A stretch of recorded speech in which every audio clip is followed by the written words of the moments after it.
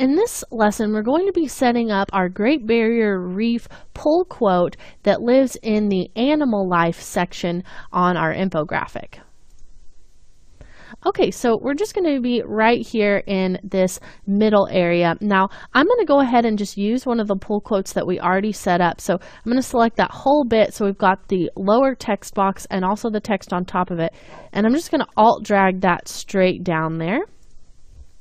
And this top part, even though we've left aligned these other pieces, this is going to look better center aligned just because of the way that it's going to be working with this piece of text here. So I'm going to go ahead and go over to my paragraph. We'll center that.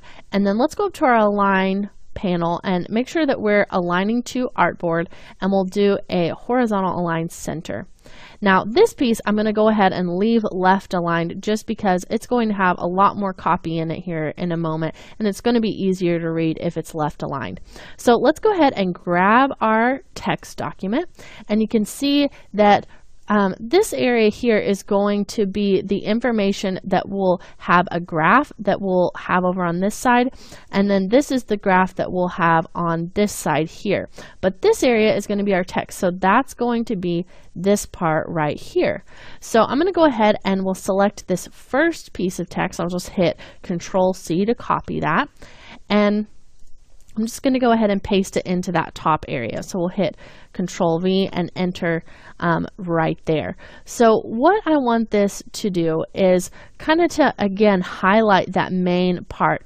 So the Great Barrier Reef is the largest living organism on the entire planet. So largest living organism, the largest living organism is going to be what I use as my pull quote. So I'm going to go ahead and I'm going to um, probably change up the way that this looks just a bit as compared, but it's still going to be based on the pull quotes we have up here at the top. So we'll go ahead and just come in there, grab the largest living organism, and I'm going to just cut that. So hit Control X, and then I'm going to paste that over rainforests. And you can see that it lost kind of that style just because we pasted something that had already been styled. So I'm going to go ahead and highlight that again. We'll grab our eyedropper tool and just eyedrop this piece and then make sure that's all center aligned together.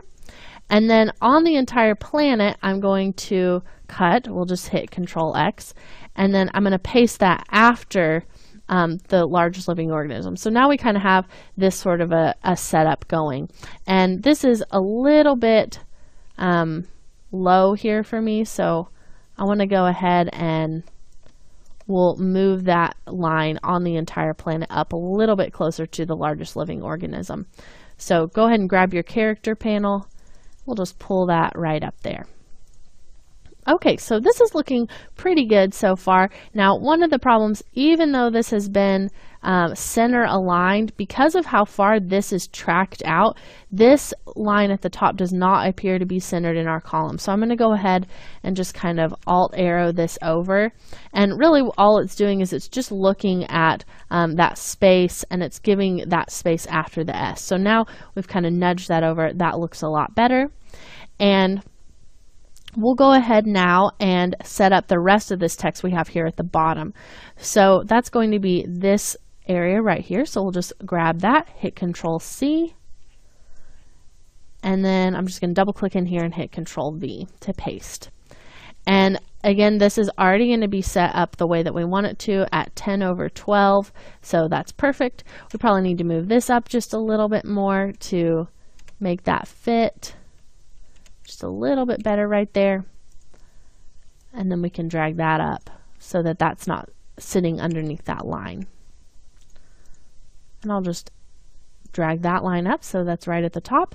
And now we have that pull quote set up. So if you want to, you could come over to your layers panel, um, maybe turn off the eyeball for your guides for a moment, just so you can see kind of what that looks like by itself. So you can definitely see the resemblance um, that this is being based on this piece up here. Um, just have a little bit of a variation with the way that on the entire planet has been written out. And then later on we'll add some more things in these columns um, just to make the whole thing feel a little more fleshed out. Now in our next lesson we have another pull quote style, um, but it's going to be set up a lot differently um, than what we have done so far. So it's not going to be kind of set up like this. It has something to do with this bit of text here. So it's part of that shift in tone, um, and it's actually going to be what comes right before that. And we'll just set it up right here, um, just right on the white part of our image here. So we're going to talk about how we will do that and set all of that text in our next lesson.